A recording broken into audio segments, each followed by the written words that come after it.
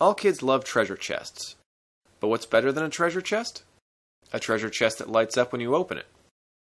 For this project, you need a small wooden box, a set of battery powered lights, a normally closed momentary switch, some thin sheet metal, and wire. The momentary switch is used to turn the lights off when the chest is closed, just like a refrigerator's light switch. We need to mount the switch to the inside of the box just below the front edge. I didn't want to mess up the fabric lining, so rather than attaching the switch directly to the side of the box, I made a small metal bracket to hold it in place. To make these brackets, all you need is some thin sheet metal. For small things like this, you don't need to go out and buy sheet metal from the hardware store. I got all the metal that I needed by cutting up a can of fruit.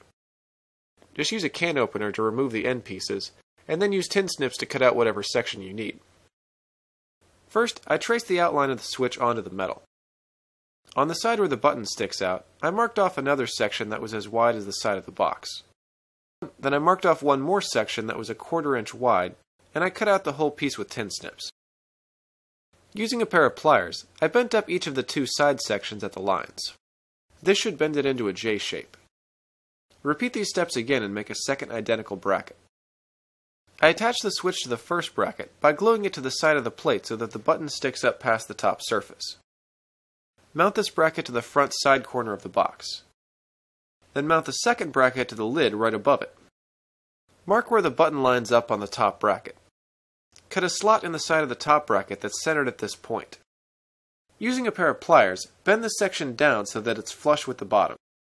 This tab is what will press the button when the lid is closed. Now you need to connect the switch to the light. Take two small pieces of wire and strip the insulation off the ends. I connected one wire to the normally closed terminal and one wire to the common terminal of my switch. Next, take the free end of one wire and wrap it around the spring at the negative end of the light's battery pack. Then put a small piece of paper or cardstock in front of the spring. Place the end of the second wire on the other side of the card and insert the battery. The card separates the battery from the terminal so that the switch can turn the light on and off. Now put all the parts into the box and you're done. The effect that this makes is great, but you can make it even better by adding sound. To do this, you need a small sound player module. To connect the sound module to the rest of the circuit, I wired the negative terminals of both batteries together. Then I connected the play button on the sound module to the other side of the switch at the spring of the light's battery pack.